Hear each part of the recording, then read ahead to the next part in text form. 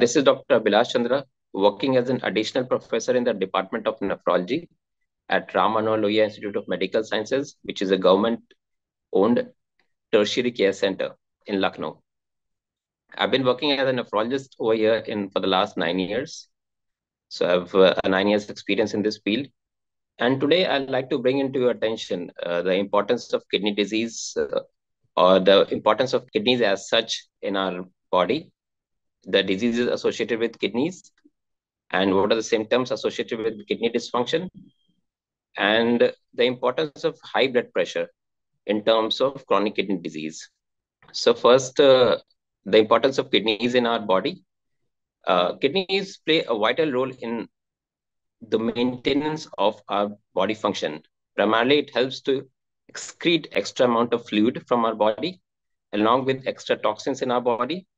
It also helps to in the production of red blood cells in our body. It helps in the production of vitamin D, which is important for our uh, skeletal growth and muscular growth. It helps in controlling blood pressures through various hormones.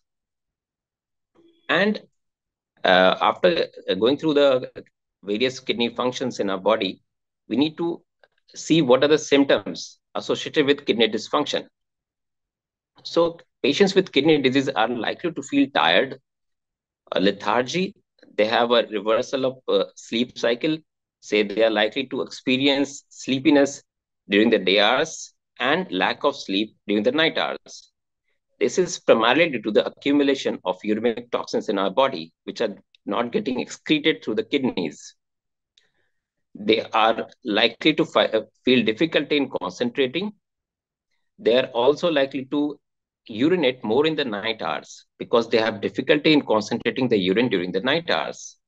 This is primarily due to some hormonal dysfunction as well as a structural dysfunction in the kidneys.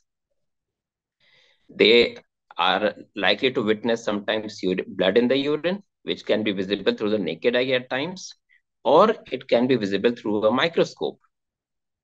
They are also likely to see uh, some frothiness in the urine if they are passing protein in the urine.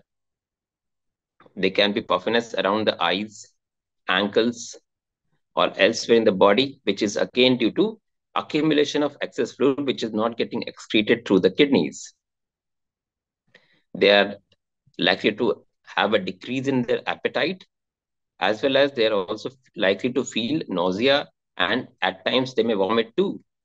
This is these symptoms are primarily due to the accumulation of uremic toxins. At times, they may experience muscle cramps, which, which are because of uh, various electrolyte disturbance happening in the body because of kidney dysfunction.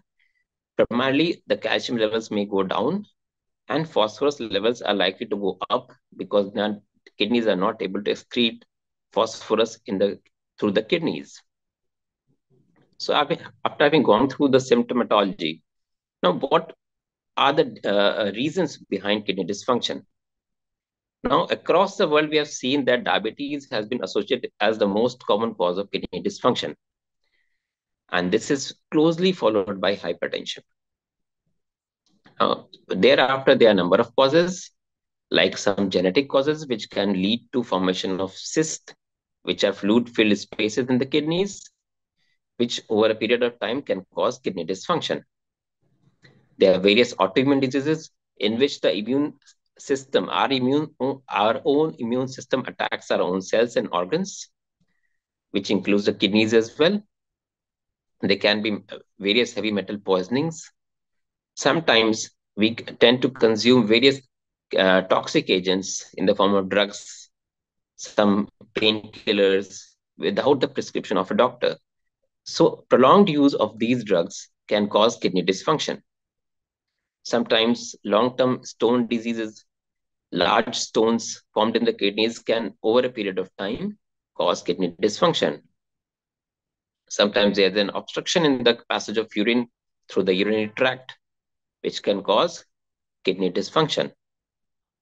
There can be vascular causes. The vessels which supply blood to the kidneys can get narrowed, which can lead to kidney dysfunction. Repeated urinary tract infections can also at times lead to kidney dysfunction. So these are the various causes of kidney dysfunction. Now I'd like to, to focus to the second most important cause of kidney dysfunction, which is hypertension. Now, why is hypertension important? As you know, the blood pressure, which is uh, uh, ex exerted on the walls of the arteries, is called uh, when the, the blood pressure exerted on the walls of the arteries exceeds the necessary level, it is labeled as hypertension. Usually, when the blood pressure rises beyond 130 by 80 millimeter of mercury, it is called as hypertension. We have tiny vessels running all across the kidneys, which can be damaged if the blood pressure remains raised beyond this uh, beyond this level for a long period of time. Now, why is hypertension so important? If you, you were to come across five patients of hypertension, at least one of them is likely to have chronic kidney disease as well. So this highlights the importance of identifying hypertension because it is very closely associated with chronic kidney disease. Now we need to focus how to prevent hypertension. We, it can be prevented by various very simple measures like improving our lifestyle. If we are overweight or obese and BMI of more than 25, any reduction in uh, body weight is likely to help us in improving our blood pressures. We can avoid, we should avoid rather trans fat, saturated fats, sugar, and we also need to restrict salt in our dietary intake to less than 5 gram a day. We are supposed to maximize use of vegetables and fresh foods in our diet. Including of inclusion of whole grains in our diet is also likely to help in we should avoid smoking as far as possible. Restricting the amount of alcohol intake is also going to help in controlling our blood pressure. Avoiding stress, focusing on at least moderate degree of physical activity for two at around 150 minutes a week is also going to go a long way in controlling our blood pressure. Sometimes by even by taking all these measures, blood pressure remains uncontrolled. So what do we do then? We consult a physician who is likely to prescribe some antihypertensive drugs. Now, we should comply to those drugs and still monitor our blood pressure regularly. It has been seen that non compliance in patients who have uncontrolled blood pressure is as high as 40 to 50%.